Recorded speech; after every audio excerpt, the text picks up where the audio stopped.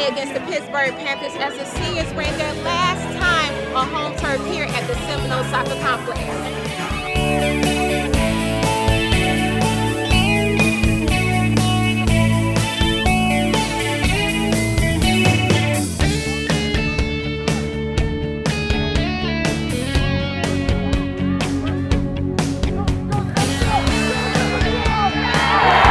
Florida State!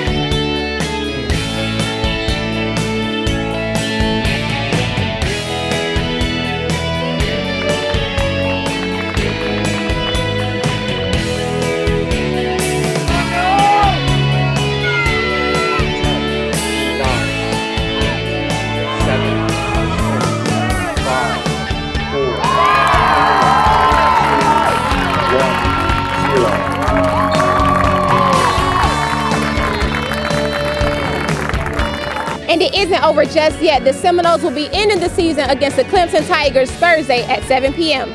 For Seminoles.com, I'm Bria Wesley.